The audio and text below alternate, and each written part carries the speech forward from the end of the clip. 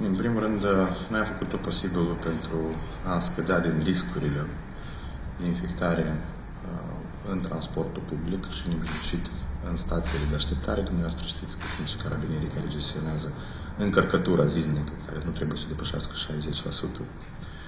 Avem 321 de unități de transport troleibuze și 104.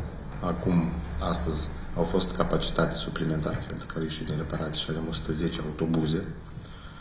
Pe orarul de la 5.30 până la ora 10 și de la 16.00 până la 20.00, orar restricționat pentru a aduce oameni la instituțiile strategice, oameni la spitale, la policlinici, la instituțiile în domeniul social și a aduce acasă. Noi ieri, ca să cunoașteți, am luat o decizie ca să alocăm din fondul de rezervă 500 de mii de lei pentru organizarea transportării la peste 900 de lucrători medicali la instituțiile unde lucrează ei și în acest sens vor fi contractate serviciile de maxi taxe.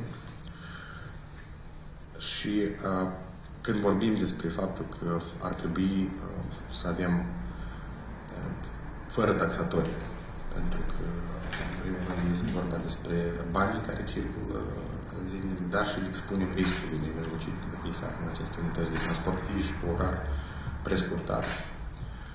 Și da, avem, spre mare regret, un caz de infectare, el nu este din transportul public, cel mai probabil că este de o persoană care a venit din străinătate, o rudă apropiată a taxatorului nevelicit, dar am întreprins toate măsurile ca să avem carantină în parcul numărul 1 și nemijlocit uh, câteva zeci de persoane se află sub monitorizare în prezent.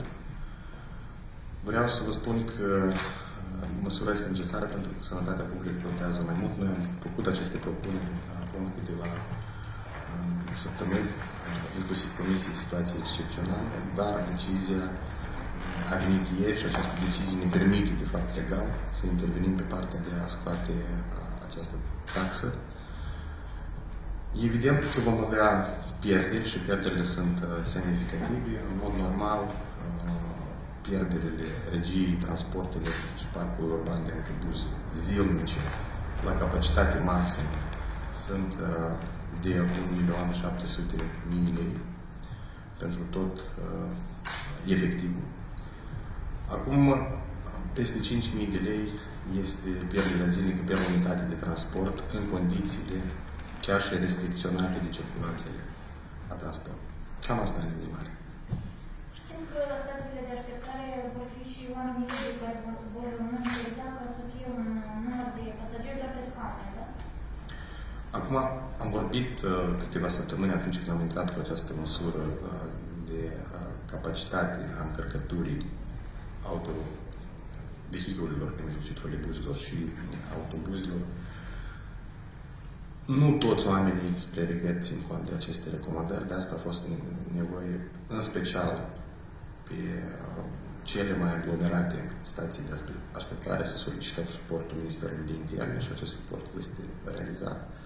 Mai mult decât atât vreau să vă zic că probabil începând cu ziua de mâine vom extinde numărul de stații de așteptare unde să fie oamenii legii Așteptăm propunerile până uh, dimineață din partea Direcției de Transport, că am făcut evaluările suplimentare. Uh, spre mare regret, uh, dar la această etapă, vreau să vă spun că toate maxi-taxi care funcționau în Chișinău, 70% din ele, astăzi, practic, nu funcționează în condițiile că fac